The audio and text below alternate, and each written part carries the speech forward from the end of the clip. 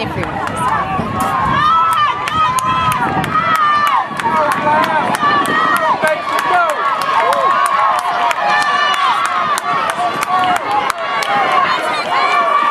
Bateman of EC Glass, unofficially. In heat four,